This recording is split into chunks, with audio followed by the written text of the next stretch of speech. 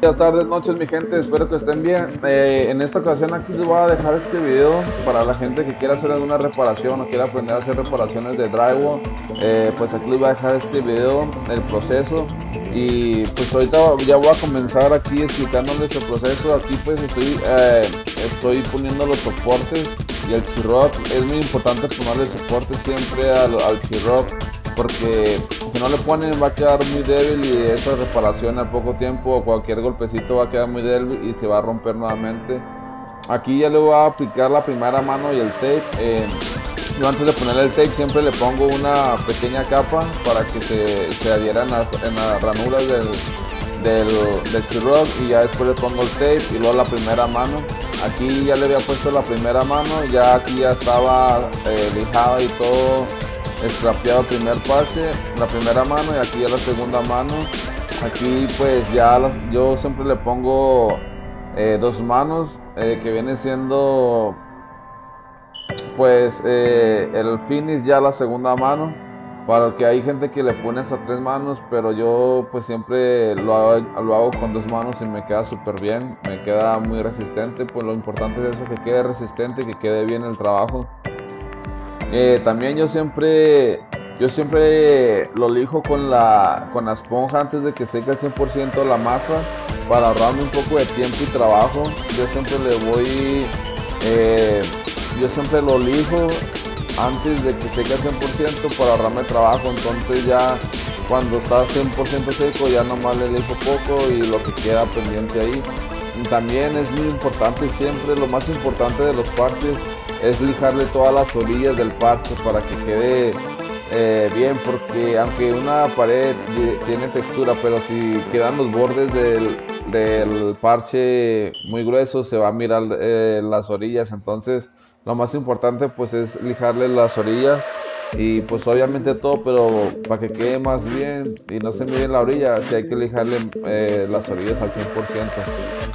Eh, como esta textura es, eh, es planchada, pues aquí estoy usando una navaja 9, de 9 pulgadas, porque pues es área, área pequeña, entonces pues con una espátula pequeña es suficiente.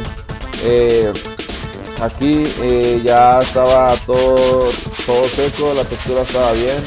Eh, yo también siempre le pongo primer a la textura eh, antes de aplicarla, cuando lo estaba aplicando para que se adhiera mucho más. eso, no sé si alguien ha usado esa técnica, pero a mí me ha servido mucho y queda súper bien, se adhiere más y queda mucho más fuerte la textura. Entonces, pues ya ahí nomás es una lijada pequeña después de aplicar la textura solo para quitar cualquier basurita de la textura, cualquier imperfección, cualquier eh, cualquiera asperosidad que quede ahí en la, en la textura. Entonces pues ahí nomás es una lijada leve para quitarle cualquier aspereza de la textura. Eh, ya después de haber lijado todo y haber cubierto todo lo que tiene que cubrir, yo ahí cubrí el, el béisbol porque eso no se va a pintar, ahí solo se va a pintar la pared y nada más se va a pintar el área donde se hizo el parche. Entonces, eh, cuando, cuando tengan que pintar solo el parche, te voy a decir la técnica que uso yo para que no te quede marcada la pintura. Eh, entonces, pues ahí ya estoy empezando a recortar. Y cuando es pared, cuando es pared nueva, textura nueva, siempre hay que darle dos manos.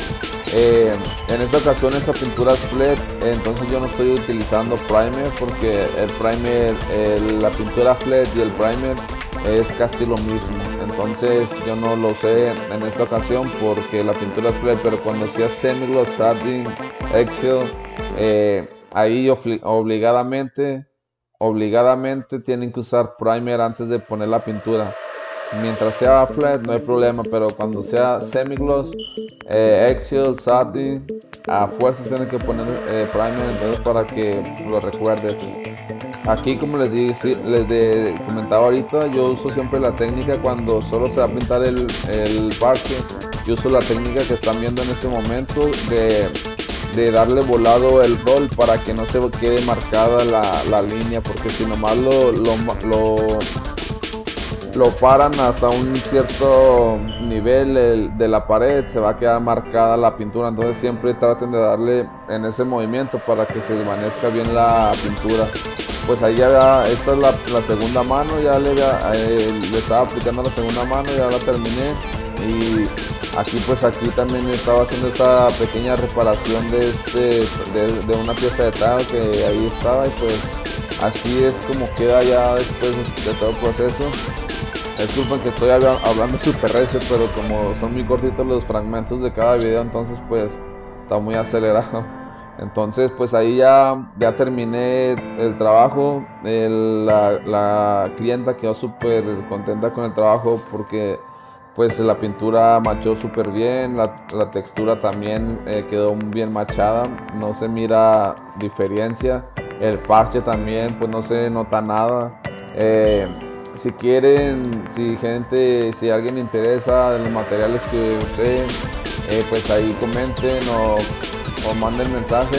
Y yo siempre uso en el pequeño, en esos trabajos pequeños yo siempre uso de 20 o 45 minutos para que me dé tiempo de terminarlos porque ese es un trabajo de un día. También la gente que quiera empezar a, que está empezando a trabajar por su cuenta y quiere saber de precios pues también ahí escriba eh, cuánto, cuánto es lo que yo cobré y qué, qué, es lo que se tiene que tomar en cuenta. Y pues también una pregunta aquí para todos los pintores que miren este video, ¿cuánto cobrarían por ese trabajo de estos parches? Eh, ahí para ver, mirar diferencias y todo eso. Pues ahí eh, está este video. Espero les haya gustado. Pues